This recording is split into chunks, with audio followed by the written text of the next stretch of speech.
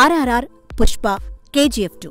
ఈ మూడు సినిమాలు ఇండియన్ బాక్సాఫీస్ దగ్గర వసూళ్ళ వర్షం కురిపిస్తూ దాదాపు రెండు వేల ఏడు వందల కోట్లు రాబట్టి సెన్సేషన్ క్రియేట్ చేశాయి. దీంతో ఇప్పుడు Indian film lovers and film makers దృష్టంతా south సినిమాలపై పడింది.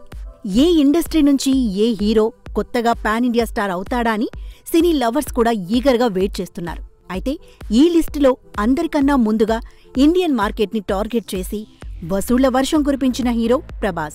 అసలు పాన్ ఇండియా మార్కెట్ అనేది ఒకటి ఉంది. దాన్ని సౌత్ హీరో కొల్లగొట్టొచ్చు అని నిరూపించిన మొదటి హీరో మొదటి స్టార్ మన Baahubali Prabhas. Rajamouli marketing strategies and grand scale making Prabhas cutout and acting కలిసి బాహుబలి సిరీస్ని దాదాపు రెండు వేల నాలుగు వందల కోట్లు రాబట్టేలా చేశాయి. కొంతమంది యాంటీ ప్రభాస్ ఫ్యాన్స్ అది రాజమౌళి సినిమా కాబట్టి అయ్యిందని చాలా సింపుల్గా అనిస్తారు. కానీ ప్రభాస్ లేకుండా బాహుబలి అనే క్యారెక్టరే లేదని స్వయంగా రాజమౌళినే చెప్పాడు. రాజమౌళి లేకుండా కూడా ప్రభాస్ పాన్ ఇండియా సినిమాలు చేశాడు. రిజల్ట్స్తో సంబంధం లేకుండా మంచి కలెక్షన్స్ కూడా రాబట్టాడు. మొత్తంగా ప్రభాస్ తన గత నాలుగు సినిమాలతో ప్రపంచవ్యాప్తంగా ఇంచుమించు మూడు వేల కోట్ల పైన రాబట్టాడు. కేవలం బాలీవుడ్ కాంత్రయానికి మాత్రమే సాధ్యమయ్యే నెంబర్స్ ఇవి. అలాంటిది ఒక సౌత్ హీరో ఈ రేంజ్ కలెక్షన్స్ తీసుకొని రావడం నిజంగా గొప్ప విషయమే. ఇక ప్రస్తుతం ప్రభాస్ లిస్టులో ఆదిపురుష్ సలార్ ప్రాజెక్ట్ కే సినిమాలు ఉన్నాయి.